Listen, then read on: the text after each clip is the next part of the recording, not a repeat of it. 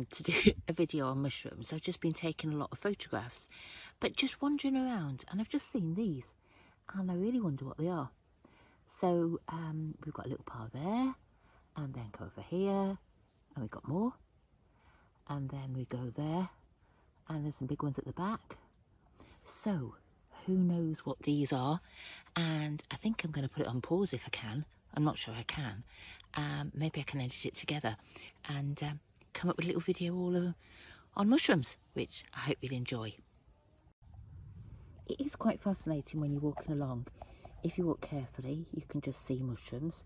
And um, I've realised I can't just do um, keep on pausing, but we have that one there. And then we walk over.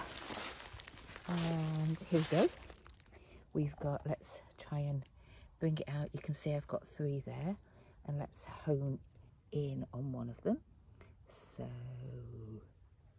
uh, there we go. There we've got another mushroom. And they're not quite as fun as the ones I've seen in the past that were all like spotty on the top. Um, but we've got more. But I think probably because it's the weather and it's changing and we're just getting more and more mushrooms. So if I find any that look a bit different, I'm going to add them to the video. Hi, I just wanted to show you this mushroom. Honestly, it's my favourite. Look at all those little knobbly bits on it. It just reminds me of something out of, I don't know, some Star Trek film. And I'm not going to get down on my hands and knees to show you the bottom. But look, if I just walk over here, we can see it's got um, its little stalk. But look at it. Look there at all the little knobbly bits. So um, I'm going for wander and I'll see if I can find any more.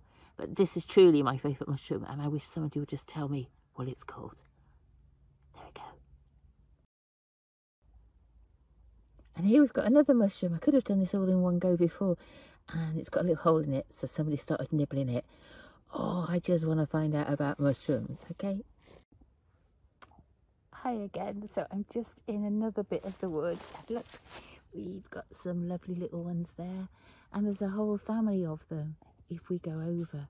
Um, there's just masses and masses of them. And I just want to know whether I can eat them or not. And I know it's best to be on the safe side um, and not to and not to go and eat them. Um, so who knows? Hey, that's quite a good close-up.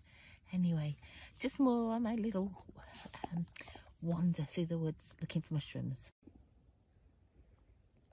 start walking and looking, really carefully looking, it's surprising what you see. So there's this one here, and I think I've shown you some of those elsewhere. And then move up. It's, uh, it's really hard trying to focus in. So where is it? Here we go. Here we go. And this is probably the biggest mushroom that I've seen. And um, again, no idea. It's quite tall. God, I'm getting too old to kneel down. But you can see it's got quite a tall stem it's just fascinating. I think I'm really getting into mushrooms, fungi.